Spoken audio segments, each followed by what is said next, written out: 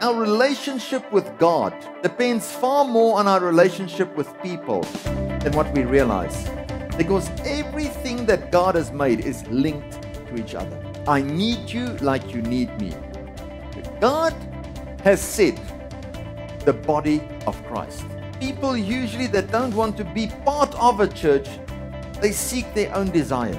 If you want to be used by God, I mean, you need to be equipped. You cannot equip yourself on the internet.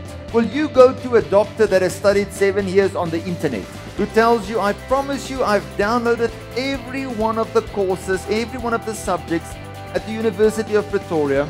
I know everything. Let me operate on you.